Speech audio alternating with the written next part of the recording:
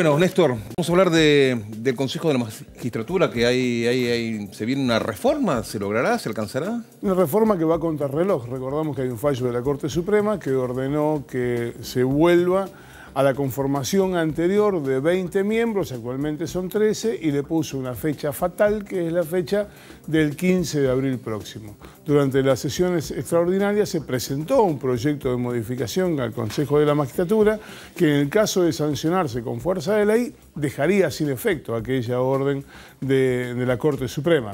Ayer se comenzó a discutir en comisión y hubo un primer dictamen en senadores. Ahora hay que ver qué es lo que ocurre de ahora en adelante porque los plazos son muy exiguos y para determinar si se va a llegar o no, estamos, insisto, en una cuenta regresiva muy apretadita, muy apretadita. Eh, a ver, para los que no entendemos del tema, que estamos fuera del paro de las internas judiciales y demás, eh, ¿esta reforma le quita poder a la Corte Suprema en el Consejo de la Magistratura, que en definitiva debería ser eh, el contralor de, la justicia? A ver, para explicarlo de la manera lo más simple posible, lo que es una puja de poder entre la Corte Suprema y el poder político. a la Corte Suprema nunca le gustó que el Consejo de la Magistratura tuviera más representantes, senadores, diputados y del Poder Ejecutivo, que abogados, jueces y catedráticos. Entonces lo que hizo fue determinar con una ley que esto tiene que estar equiparado, que tiene que ser parejo. Pero eh, el gran secreto de esa historia es que en el fallo de la Corte lo que dice es que el presidente de la Corte va a ser también el presidente del Consejo de la Magistratura. Bueno, está bien, la misma persona, que puede lo más, puede lo menos. Ah, ah. Ahí hay un problema, porque la Corte maneja su propio presupuesto, pero el Consejo de la Magistratura maneja el presupuesto de todos los juzgados mm. nacionales y federales. Es decir, que en última instancia de lo que están discutiendo es el control del hipermillonario presupuesto del Poder Judicial y si el presidente de la Corte es el mismo que el presidente del Consejo, pues entonces el manejo de ese presupuesto está concentrado prácticamente en una misma persona. Tenemos una nota, pero antes de la nota, un enunciado nada más.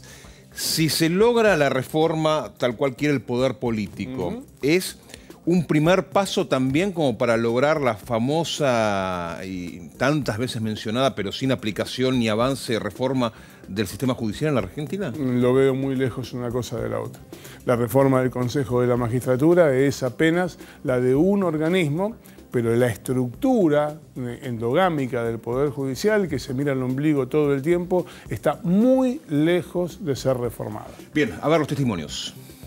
A los fines de evaluar este proyecto enviado por el Poder Ejecutivo, se hizo presente el ministro Soria con su gabinete a los fines de evacuar duda y poder eh, conversar con los senadores, como así también contamos con la presencia del presidente del Consejo de la Magistratura. El ministro Soria eh, dio un testimonio contundente, calificó como distorsiva la decisión de la Corte Suprema, entre otras cuestiones.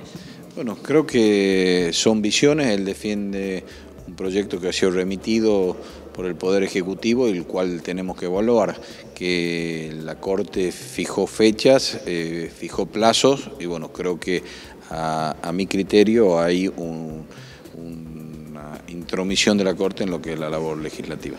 Creo que la inconstitucional la dictó, digamos, después de 16 años, y eso es lo sorprendente, eh, la Corte Suprema a una ley que ha estado vigente eh, y que pretende que, muera. Creo que ya eh, quiere restablecer una ley que ha, sido derogada por el propio Congreso. Creo que hay ahí un conflicto de poderes claramente, cuando, que es lo que marca nuestra Constitución. Lo que sí hay y se ve claramente por parte de la oposición que mira en los distintos proyectos a dónde va o se focaliza la cabeza del Consejo de la Magistratura, que hoy eh, defiende una posición que hace unos años no la defendía.